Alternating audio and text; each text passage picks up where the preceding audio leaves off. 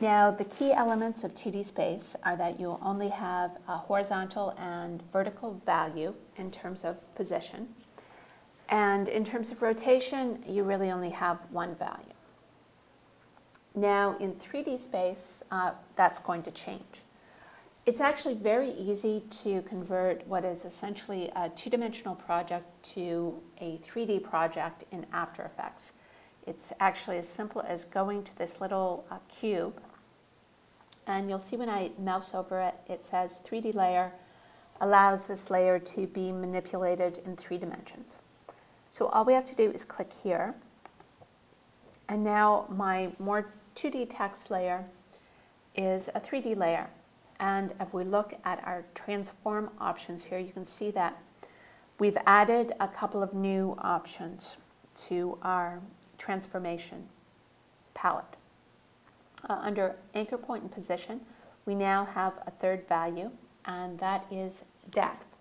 So the first two values, uh, x equals horizontal position, y equals vertical position. The third value is z, and that equals the depth position.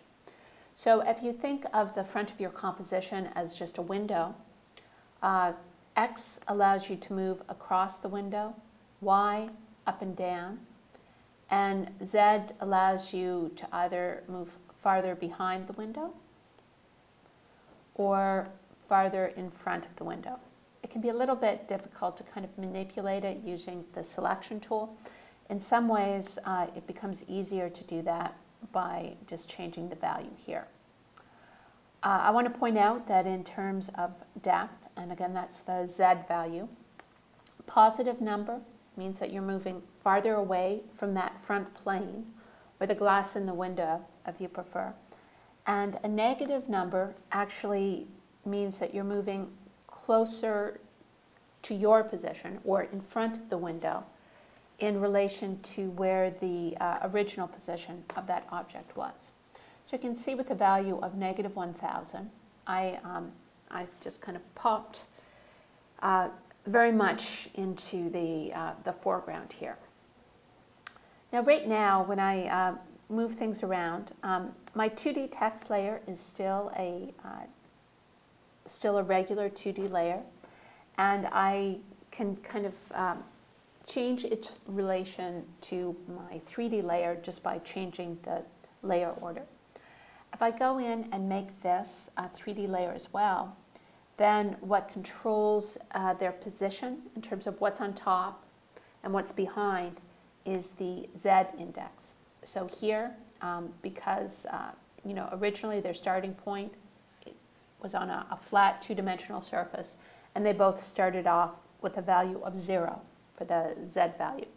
So um, if I add a number here that is uh, kind of a greater negative number than negative 1,000, then what I'm going to do is uh, bring my 2D text layer, my white text layer, in front. So they both started out as two-dimensional layers, so they both started out on the same Z or depth position, which was zero. So I can change their position in terms of depth by going in and changing this number. And remember, they start at zero. A negative number brings the object on that layer closer to you, and a positive number, let's just make this 1200, pushes it farther back. So in terms of understanding uh, the three-dimensional base, and this is just basic three-dimensional space in After Effects, this is key, you know, uh, the position in terms of how that, how the depth works and how you can bring objects closer to you or farther away. I also want to point out that you can kind of freehand move an object, but here it, it's very difficult to just kind of pick it up and change the, its depth position. Here, when you're moving it freehand, you're really just kind of positioning it in terms of its x and y coordinates. And you can reposition it in terms of depth by grabbing this blue arrow in the middle. But uh, it, it can be very difficult to do that with any kind of precision. Um, sometimes it's a little bit titchy in terms of how it works. And Again, uh, just if you mouse over the different arrows, you can see what each one controls. So red equals X, green equals Y, blue equals Z, and that is horizontal, vertical, and depth. Uh, you can remember it as well if you want by comparing it to RGB.